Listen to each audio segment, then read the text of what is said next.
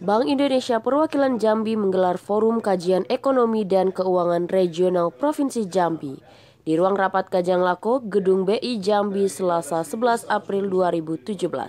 Pertemuan dipandu oleh Kepala BI Perwakilan Jambi, Fikar Lusa. Sebagai pembicara hadir pengamat ekonomi Pantun Bukit. Forum diikuti para pelaku bisnis, pihak perbankan, gabungan pengusaha, aparatur pemerintah, dan kalangan redaktur media masa lokal. Dari kawasan Telanai Pura, Dik Stalon melaporkan.